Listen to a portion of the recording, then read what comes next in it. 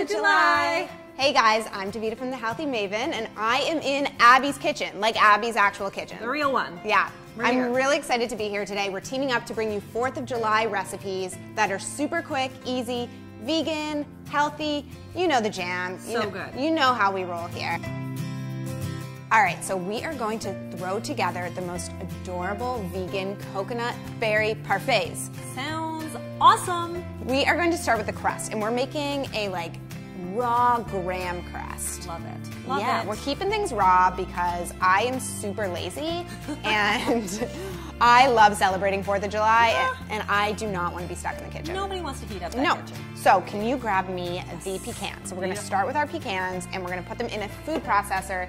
You can use a high speed blender for this, but I just prefer the food processor. I do too. I love my food processor. Me too, it's my best friend. Me too. So, we're just going to pour those in there and then I need some dates. Beautiful. Perfect. So we toss those dates in there, and then some Cinnamon? You got it. That's it. And that makes our crust. Now we throw the top on, and it's gonna get loud in here. Mm-hmm. Well, it does all the work. so-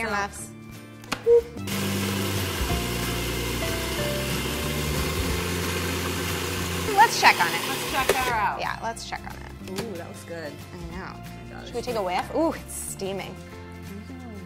Mm hmm. How could that be bad, guys? I How know. could that be bad? I know. It's amazing. I need to get in there too. Yeah. Okay, right. Oh, dates, I love them. Mm, we know. Nature's candy. Nature's candy. All right, that's good. So good. So it takes under a minute to process. Super easy. Can I have you Yep. scoop this guy into here? All right, so that's our crust. That was easy. Now we need to make our filling. And it's really, really simple. You can use a hand blender for this or Yeah. um, like a hand mixer. Right. But we already used some hardcore equipment, so I thought we'd keep it simple and get in our arm workout. So what we did is we scooped out some coconut cream from the top of the can. I love coconut He- cream. I know, it's so good. And the trick is you take your coconut cream and you put it in the refrigerator and you leave it overnight. After it's sat overnight in the fridge, you open it up and you scoop out that thick cream that's at the top of the can. I'm already sold. I'm already sold. I know. And then put it in a bowl. So now, uh, what I do is I go in with a spoon and I just kind of break up the chunks. And it definitely takes a little bit of elbow grease. So just kind of breaking it up, making it a little smoother. It's like you want it to be nice and smooth. Yeah, it's like creaming butter. And then eventually it's gonna break down so that you can get in there. good. I know, it's getting there, right? Yeah.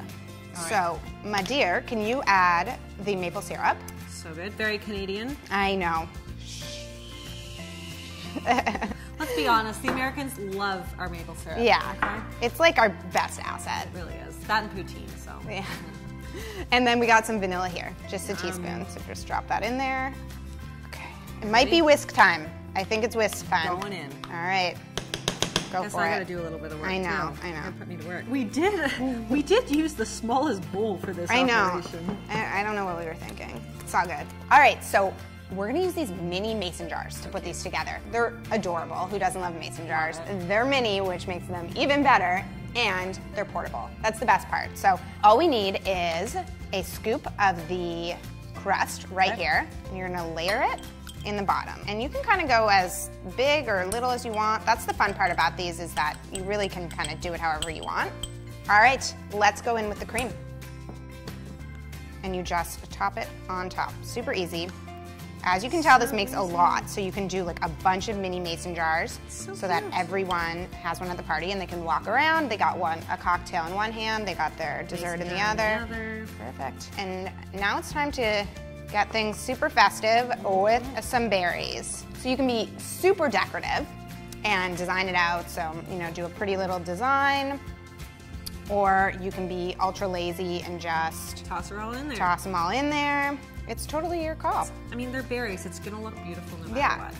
So good. Yes, perfect. They look so pretty. So there you have it. We have our vegan, healthy coconut berry parfaits. So good. They are so cute. You just pop a lid on there, take them over to your 4th of July party. You are gonna be the life of the party with Yeah, these. such a hit.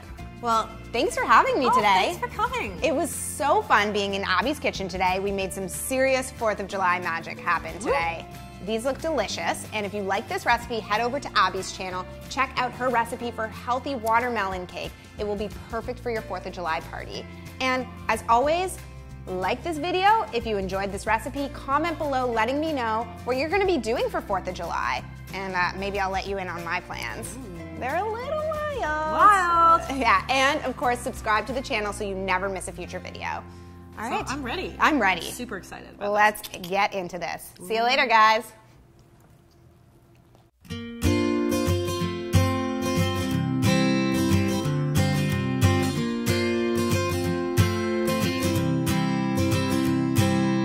Una bangles. it. Pop. Do not shake the can. Don't shake shake the it. can. I know you're gonna be tempted. Don't shake it. No shake, shake, no, shake no, it no, off. no, No no, no, T- no, no, no no, no, no, no, T-Swift, no. guys. No T-Swift. No, no, shake it off. No, no, uh, don't even think about it.